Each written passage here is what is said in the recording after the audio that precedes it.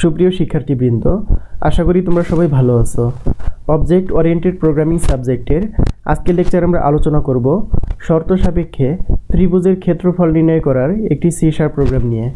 তো খেয়াল করো, এই প্রোগ্রামটি পরীক্ষায় এভাবেও আসতে পারে যে অসমবাহু অথবা বিষমবাহু ত্রিভুজের ক্ষেত্রফল নির্ণয়ের একটি সিসার প্রোগ্রাম লিখো।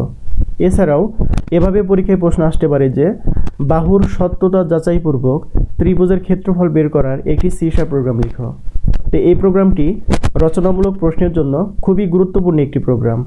আশা করি প্রোগ্রামটি তোমরা গুরুত্ব সহকারে দেখবা। তো তোমাদের উদ্দেশ্যে আরও একটি কথা জানিয়ে রাখি।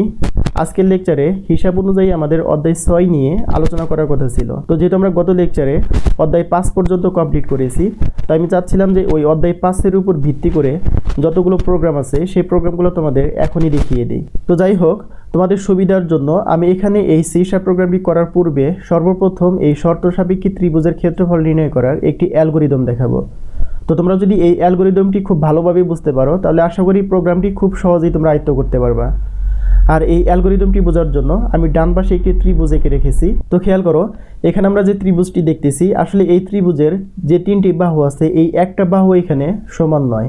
যদিও ত্রিভুজের আকৃতি দেখে মনে হচ্ছে যে সবগুলো বাহুই সমান, অথচ এখানে কোনো একটা বাহু সমান নয়। অর্থাৎ এখানে এ বাহু, এখানে বি বাহু এবং এখানে সি বাহু, এই তিনটা বাহু এখানে অসমান রয়েছে। যার কারণে এখানে আরেকটি নাম হয়েছে অসমবাহু ত্রিভুজ বা বিষমবাহু ত্রিভুজ। এছাড়া খেয়াল করো এই ত্রিভুজকে আমরা শর্ত সাপেক্ষী ত্রিভুজ এ কারণেই বলি। কারণ তুমি যদি এই ত্রিভুজের ক্ষেত্রফল বের করতে চাও, তাহলে সেই ক্ষেত্রে root over S into S minus A S minus B এবং এস মাইনাস সি এই সূত্রটি ফলো করতে হয়। আর এই সূত্র ফলো করার জন্য অবশ্যই আমাদের একটি অর্ধ পরিসীমা লাগবে। আর তুমি যদি অর্ধ পরিসীমা সহ এই ত্রিভুজের ক্ষেত্রফল বের করতে চাও, তাহলে তার ফার্স্ট কন্ডিশনই হবে ত্রিভুজের যে কোনো দুই বাহুর সমষ্টি, তার তৃতীয় বাহু অপেক্ষা অবশ্যই বড় হইতে হবে। যদি বড় না হয়, তাহলে সেই ক্ষেত্রে এই ত্রিভুজের ক্ষেত্রফল বের করা কোনোভাবেই সম্ভব নয়। অর্থাৎ, এই যেখানে দেখো এ বাহু আর বি বাহু আছে, তো এই এ বাহু আর বি বাহু, এই দুই বাহুর মান যোগ করে যদি এই সি বাহুর চেয়ে বড় হয় এবং এই বি বাহু এবং সি বাহু, এই দুই বাহুর মান যোগ করে যদি এই এ বাহুর চেয়ে বড় হয় এবং সর্বশেষ এই সি বাহু আর এ বাহু, এই দুই বাহুর মান যোগ করে যদি বি বাহুর চেয়ে বড় হয়, অর্থাৎ এই তিনটা কন্ডিশন যদি সত্য হয়, তাহলে সেই ক্ষেত্রেই তুমি অর্ধপরিসীমা বের করতে পারবা এবং এই ত্রিভুজের ক্ষেত্রফল বের করতে পারবা। তো যাই হোক আশা করি এই বেসিক জিনিসগুলো তোমরা জানো। তো খেয়াল করে এখানে অ্যালগোরিদমটা একটু। আমরা ফার্স্ট স্টেপে লিখেছি প্রোগ্রাম শুরু বা স্টার্ট আর এগুলো তোমরা আশা করি তৃতীয় সেমিস্টারে বিস্তারিত পড়ে আসছো। তো তারপরে আমি তোমাদেরকে জাস্ট একটু মনে করিয়ে দিতেছি। তো খেয়াল করো, আমরা দুই নম্বর স্টেপে লিখেছি ভেরিয়েবল এ বি সি এর মান গ্রহণ। তো তুমি চাইলে সরাসরি এখানে লিখতে পারো input A comma B comma C এখানে এ হচ্ছে একটা বাহু, বি হচ্ছে আরেকটা বাহু এবং সি হচ্ছে অপর একটি বাহু। তো খেয়াল করো, যেহেতু আমাদের তিনটি বাহুর মান এখানে ইনপুট নেওয়া শেষ, তাহলে সেই ক্ষেত্রে আমরা তিন নাম্বার স্টেপে একটি কন্ডিশন দিব। যদি এই এ বাহু এবং বি বাহু এই দুই বাহুর মান যোগ করে সি বাহুর চেয়ে বড় হয়, এখানে খেয়াল করো এই গ্রেটার দেন চিহ্নটা কিন্তু এ প্লাস বি এর দিকে আছে এবং বি বাহু ও সি বাহু এই দুই বাহু যোগ করে যদি এ বাহুর চেয়ে বড় হয় এবং সি বাহু আর এ বাহু এই দুই বাহু যোগ করে যদি বি বাহুর চেয়ে বড় হয়। অর্থাৎ এই যেখানে যে আমরা তিনটা কন্ডিশন দিছি, এই তিনটা কন্ডিশনই যদি সত্যি বা ইয়েস হয়, তাহলে সেই ক্ষেত্রে আমরা সর্বপ্রথম একটি অর্ধ পরিসীমা বের করতে পারব। আর আমরা জানি অর্ধ পরিসীমা বের করার সূত্র হচ্ছে S equal to A plus B plus C ভাগ টু এখানে এ বাহু বি বাহু এবং সি বাহু, এই তিন বাহুর মানকে যোগ করে দুই দিয়ে ভাগ করতে হবে। তো খেয়াল করো, যেহেতু আমাদের অর্ধ পরিসীমা বের করা শেষ, তাহলে এখন কিন্তু আমরা এর এরিয়াটা বের করতে পারি বা ক্ষেত্রফলটা বের করতে পারি। তাহলে দেখো আমরা বি নাম্বার পয়েন্টে এখানে লিখেছি area equal to root over S into S minus A S minus B এবং এস মাইনাস সি তো এটা হচ্ছে আমাদের সূত্র, যেখানে এই এস হচ্ছে অর্ধ পরিসীমা এবং এ বি সি হচ্ছে এই ত্রিভুজের বাহুর মান। তো খেয়াল করো, যেহেতু এখানে আমাদের এরিয়া বের করা শেষ, তাহলে এখন আমরা কি করতে পারি? দেখো সি নাম্বার পয়েন্টে আমরা এই এরিয়াটাকে প্রিন্ট করে দিছি বা এরিয়ার মানটাকে আমরা আউটপুটে দেখাইছি, যার কারণে আমরা লিখেছি এখানে ক্ষেত্রফল এরিয়ার মান প্রদর্শন। তো এখন খেয়াল করো, যদি কোনো কারণে এই তিনটা কন্ডিশনের একটা কন্ডিশনে মিথ্যা হয়, তো ধরো এই কন্ডিশনও সত্য হয়েছে এখানে এই কন্ডিশনও সত্য হয়েছে কিন্তু লাস্টে এই C plus A is greater than B এই কন্ডিশনটা সত্য হয় নাই, অর্থাৎ মিথ্যা হয়ে গেছে। তাহলে সেই ক্ষেত্রে কিন্তু এই ত্রিভুজের ক্ষেত্রফল বের করা সম্ভব নয়। তাহলে সেই ক্ষেত্রে আমাদের যে মেসেজটি শো করবে, তা হচ্ছে ট্রায়াঙ্গেল ইজ নট পসিবল অথবা তুমি এখানে যে কোনো মেসেজ লিখে দিতে পারো, কোনো সমস্যা নাই। এবং সর্বশেষ আমরা চার নাম্বার স্টেপে প্রোগ্রামটাকে শেষ করব। এটা ছিল আমাদের বেসিক একটি অ্যালগোরিদম তো আমরা এই অ্যালগোরিদমের উপর ভিত্তি করে এখন সরাসরি প্রোগ্রাম তৈরি করব। আর এই প্রোগ্রামটি তৈরি করার জন্য আমি অনলাইন জিডিপি ডট কম যে সাইটটি ছিল, সেই সাইটটি ওপেন করতেছি। তো খেয়াল করো, এটা হচ্ছে আমাদের অনলাইন জিডিপি ডট কম যে সাইটটি ছিল, সেটি। তো আমি শুরুতে এখান থেকে এই ল্যাঙ্গুয়েজটাকে সি শার্প করে নিচ্ছি এখানে। আর এগুলো তোমরা অলরেডি জানো, আমরা বিগত অনেকগুলো লেকচারে প্রোগ্রাম নিয়ে আলোচনা করেছি। তো আমি এখান থেকে এই কমেন্টগুলোকে ডিলিট করে দিচ্ছি। আমি এটাকে উপরে উঠিয়ে দিলাম। আর এখানে যেহেতু আমাদের ক্লাসের নাম আছে হ্যালো ওয়ার্ল্ড তো আমি এখানে ক্লাসের নামটাকে চেঞ্জ করে দিচ্ছি। আমি এখানে লিখে দিলাম এখন ট্রায়াঙ্গেল এরিয়া যেটা আমরা ত্রিভুজের ক্ষেত্রফল বের করব। আর আপাতত এই কনসোল ডট রাইট লাইন এটাকে আমি মুছে দিলাম এখান থেকে। তো খেয়াল করো, আমি শুরুতে এখানে ভেরিয়েবল ডিক্লেয়ার করব। তোমরা জানো ভেরিয়েবল ডিক্লেয়ার করার পূর্বে অবশ্যই তার ডাটা টাইপ ডিক্লেয়ার করে দিতে হয়। তো আমরা এখানে আসলে কোন টাইপের ডাটা টাইপ ব্যবহার করব। আমরা কি এখানে ইন্টিজার ব্যবহার করব ফ্লোট ব্যবহার করব, নাকি ডাবল ব্যবহার করব? তো খেয়াল করো, আমরা কিন্তু অ্যালগোরিদমে একটি সূত্র দেখে আসছি, যে এই ত্রিভুজের ক্ষেত্রফল বের করার সূত্র হচ্ছে root over S into S minus A S minus B এবং এস মাইনাস সি যেহেতু এখানে রোড আছে, তাহলে সেই ক্ষেত্রে অবশ্যই এখানে দশমিক সংখ্যা আসবে। আর যেহেতু দশমিক সংখ্যা আসবে, তাহলে সেই ক্ষেত্রে আমরা সরাসরি এখানে ডাবল ডাটা টাইপ ব্যবহার করলাম। ওকে তো এখন খেয়াল করো ডাবল ডাটা টাইপ দেওয়ার পরে আমরা ভেরিয়েবল হিসেবে এখানে এ একটা বাহু নিলাম বি একটি বাহু নিলাম এবং সি অপর একটি বাহু নিলাম। তো এ বি সি বাহু নেওয়ার পর আমরা চিন্তা করতেছি, দেখো, আমাদের কিন্তু এখানে একটা অর্ধ পরিসীমা বের করতে হবে। আর অর্ধ পরিসীমা বের করার জন্য আমি এস নামক আরেকটি ভেরিয়েবল নিলাম এবং সর্বশেষ এই ক্ষেত্রফলটিকে প্রিন্ট করার জন্য এরিয়া নামক আরও একটি ভেরিয়েবল নিলাম এবং সর্বশেষে অবশ্যই একটি সেমিকোলন দিতে হবে। ওকে তো খেয়াল করো, আমরা যেহেতু এই ইনপুটগুলা সরাসরি ইউজারের কাছ থেকে নিব, তাহলে সরাসরি এখানে আমরা লিখতে পারি কনসোল ডট রাইট ব্র্যাকেট শুরু। আমরা এখানে একটা মেসেজ শো করাইতে পারি, যে মেসেজটা প্রোগ্রাম রান করার সাথে সাথে ইউজারের কাছে শো করবে। Please enter your first number তো তুমি এখানে যে কোনো মেসেজ দিতে পারো, কোনো সমস্যা নাই। আমরা জানি আর্ম মানে বাহু।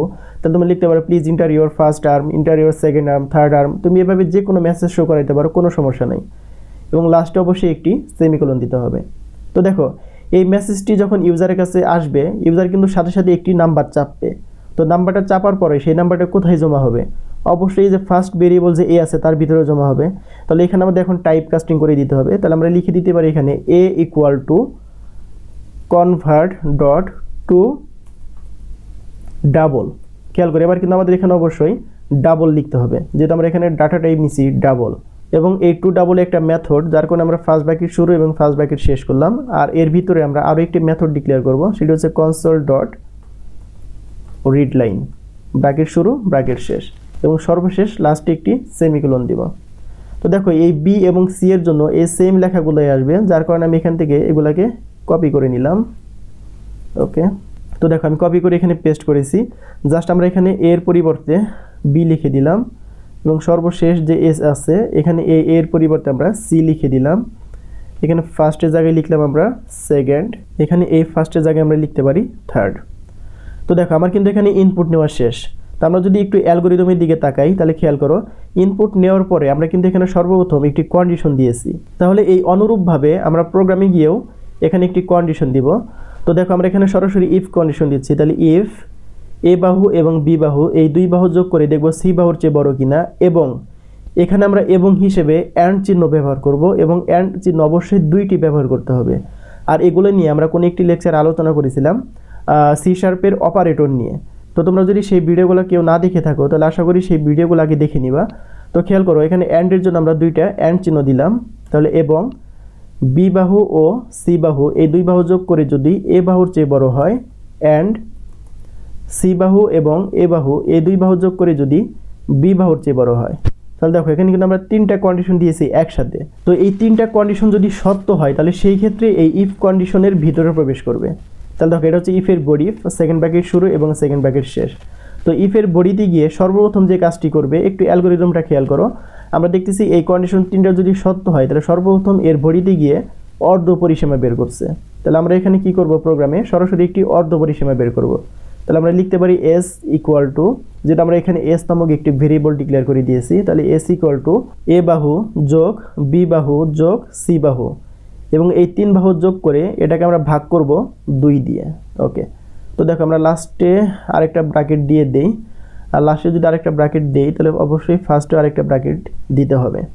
তো সবসময় মনে রাখবা, বাম দিক থেকে যতগুলো ব্র্যাকেট হবে, ডান দিক থেকে ঠিক ততগুলো ব্র্যাকেটই ক্লোজ করতে হবে। যেমন এখানে দেখো, বাম দিকে আমরা একটা, দুইটা ওপেনিং ব্র্যাকেট দিছি।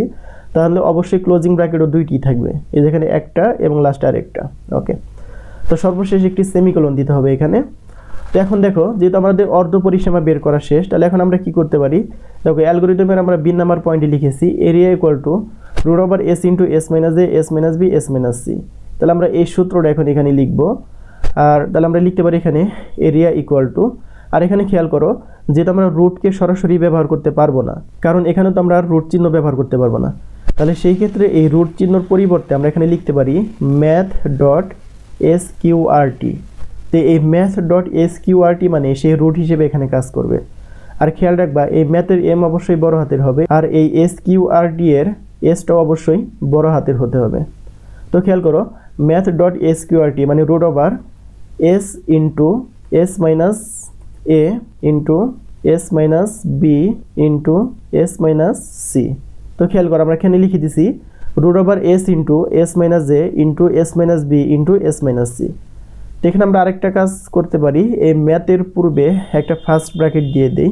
তাহলে আমরা লাস্টে আরেকটা ব্র্যাকেট অবশ্যই দিতে হবে, কারণ নয় ওপেনিং আর ক্লোজিং ব্র্যাকেট সমান হবে না। ওকে তো খেয়াল করো, যেহেতু আমরা এখানে এরিয়ার সূত্র প্রয়োগ করেছি, তাহলে সেই ক্ষেত্রে আমরা তিন নাম্বার স্টেপে এখন কি কাজ করতে পারি? দেখো অ্যালগোরিদমে খেয়াল করো, আমরা ক্ষেত্রফল এই এরিয়ার মানটাকে প্রদর্শন করতে পারি বা আউটপুটে দেখাইতে পারি। তাহলে সেই ক্ষেত্রে এখন আমরা কি লিখতে পারি? কনসোল ডট রাইট বা তুমি কনসোল ডট রাইট লাইন লিখতে পারো। রাইট এবং রাইট লাইন এই দুই মেথডের মধ্যে পার্থক্যটা কি? সেগুলো আমরা বিগত কোনো একটি লেকচার আলোচনা করেছি। তো আমরা এখানে কনসোল ডট রাইট ব্র্যাকেট শুরু ব্র্যাকেট শেষ। দেখো, এর ভিতরে তুমি চাইলে কোনো একটি মেসেজ শো করাইতে পারো যে ইওর রেজাল্ট ইজ বা ইওর এরিয়া ইজ তবে এখানে কোনো মেসেজ শো করতেছি না, সরাসরি এই এরিয়ার মানটাকে প্রিন্ট করে দিলাম। ওকে লাস্টে অবশ্যই একটি সেমিকোলন দিতে হবে। আর হ্যাঁ এই যেখানেও একটি সেমিকোলন দিয়ে শেষ করতে হবে। ওকে তো খেয়াল করো, আমাদের প্রোগ্রাম কিন্তু প্রায় শেষের দিকে। তো যদি এই তিনটা কন্ডিশন সত্য হয়, তাহলে সেই ক্ষেত্রে এই ইফ কন্ডিশনের ভিতরে যে স্টেটমেন্টগুলো আছে, সেগুলোকে সে এক্সিকিউট করবে। এখন প্রশ্ন হচ্ছে, যদি কোনো কারণে এই তিনটা কন্ডিশন সত্য না হয়, যদি একটাও যদি মিথ্যা হয়, তাহলে সেই ক্ষেত্রে কি হবে? তাহলে সেই ক্ষেত্রে আমরা ইফের সাথে জানি এলস কথাটা থাকে, তাহলে আমরা ইলস কন্ডিশনে ঢুকবো। তাহলে ইলসের বডিতে আমরা প্রবেশ করব। কখন প্রবেশ করব? যখন এই ইফ কন্ডিশনটা মিথ্যা হবে। তো দেখো ইলস কন্ডিশনে আমরা যে মেসেজটা শো করাবো কনসোল ডট রাইট আমরা এখানে একটা সরাসরি মেসেজ লিখে দিতে পারি triangle is not possible okay লাস্টে অবশ্যই একটি সেমিকোলন দিতে হবে।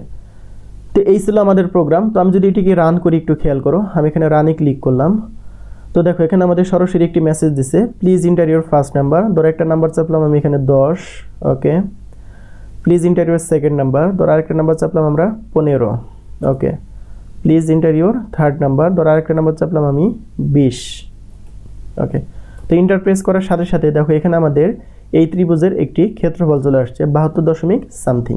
তো খেয়াল করো, যেহেতু আমাদের এখানে ক্ষেত্রফল চলে আসছে, তার মানে আমরা বুঝতেছি যে এই ইফ কন্ডিশনের ভিতরে যেগুলো আছে, সেগুলো এখানে এক্সিকিউট করা হয়েছে। অর্থাৎ এই তিনটা কন্ডিশনই এখানে সত্য হয়েছে। তো যদি কোনো কারণে মিথ্যা হয়, তাহলে সেক্ষেত্রে কীরকম হয়? তো আমি এটাকে যদি আবার রান করি, একটু খেয়াল করো। তো ধরো আমি এখানে একটা ইনপুট দিলাম দশ, ধরো একটা ইনপুট দিলাম আমি বিশ ওকে আর তিন নাম্বার ইনপুট দিলাম ধরো চার। দিয়ে যখন ইন্টার প্রেস করছি, খেয়াল করে, এবার কিন্তু আমাদের মেসেজ দিছে ট্রায়াঙ্গেল ইজ নট পসিবল দেখো, এই মেসেজটা দেওয়ার মূল কারণটা কি? ইন্টারভিউর ফার্স্ট নাম্বার দেখো, এই ফার্স্ট নাম্বার কিন্তু এর ভিতরে জমা হয়েছে সেকেন্ড নাম্বার হয়েছে বি এর ভিতরে এবং থার্ড নাম্বার জমা হয়েছে সি এর ভিতরে। তার মানে আমরা বুঝতেছি এখানে এর মান হচ্ছে দশ বি এর মান বিশ এবং সি এর মান হচ্ছে চার। তো আমাদের কন্ডিশন অনুযায়ী খেয়াল করো, এই সি বাহু আর এখানে যে এ বাহু আছে, এই দুই বাহু যোগ করে এই বাহুর চেয়ে বড় হয় নাই। অর্থাৎ এই যে যে কন্ডিশন আছে আমাদের একটা, এই যেখানে, এই কন্ডিশনটা কিন্তু এখানে মিথ্যা হয়েছে। কারণ সি বাহুর মান চার আর এ বাহুর মান হচ্ছে দশ। তো চার আর দশ যোগ করলে হয় চোদ্দ। এই চোদ্দ কিন্তু এই বি বাহুর চেয়ে বড় না, কারণ বি বাহুর মান হচ্ছে বিশ। যেহেতু এখানে একটা কন্ডিশন মিথ্যা হয়ে গেছে, তাহলে সেই ক্ষেত্রে এটা এই যে, এই এলস কন্ডিশনের ভিতরে যে লাইনটা আছে, সেটাকে এক্সিকিউট করেছে। তো এই ছিল মূলত আজকে প্রোগ্রাম আশা করি এই প্রোগ্রামটা তোমরা ভালোভাবেই বুঝতে পেরেছ। আর এটি খুবই গুরুত্বপূর্ণ একটি প্রোগ্রাম তোমাদের পরীক্ষার জন্য। তো এই প্রোগ্রামটি আমি তোমাদের সুবিধার জন্য ভিডিও ডেসক্রিপশনও দিয়ে দিব, আর তোমরা চাইলে এখান থেকে কেউ নোট করে নিতে পারো। তো আমরা আগামী লেকচারে দেখব দিগার সমীকরণের মূল বের করার একটি সিসার প্রোগ্রাম তো আগামী লেকচার দেখার আমন্ত্রণ জানিয়ে আজকে এখানেই বিদায় নিচ্ছি। আল্লাহ হাফেজ।